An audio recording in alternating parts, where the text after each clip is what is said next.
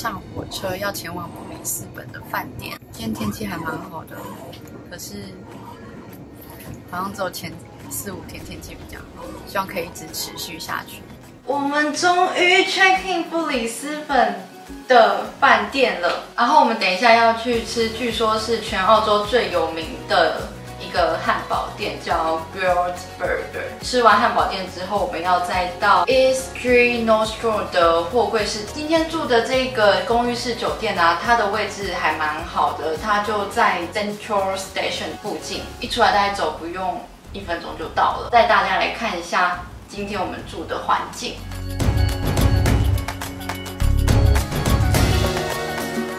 这大概就是我们。在布里斯本住的饭店，它叫做 Adina Apartment Hotel。我们订这一间饭店一个晚上大概是一千九百多，所以其实一个人不到一千块。我觉得以澳洲的物价来说，算是还蛮便宜的。如果你没有很在意说设施一定要非常新，只要干净舒适就好，我觉得这是一个 CP 值还蛮高的选择。然后我们现在就要出发出住玩了。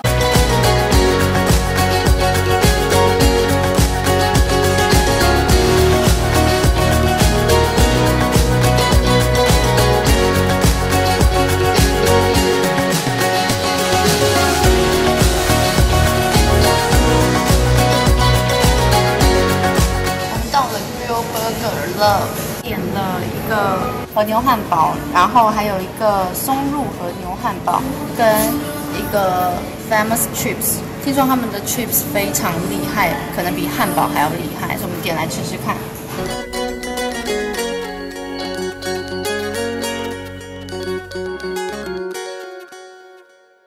我觉得这个饼皮蛮 Q 的啊，没有你做的那么硬，还蛮 Q 的。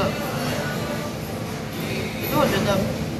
到传说中的那么好吃，我觉得两个人点一个就可以了。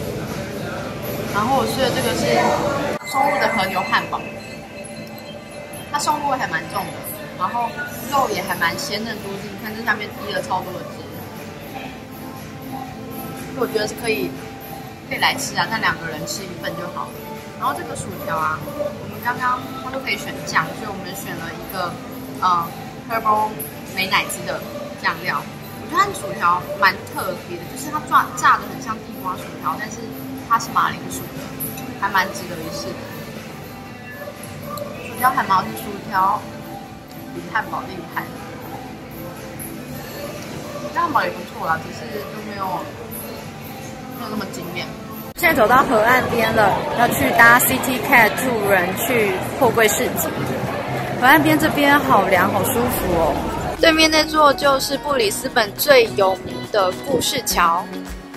故事桥是世界上目前三座可以攀爬的桥之一。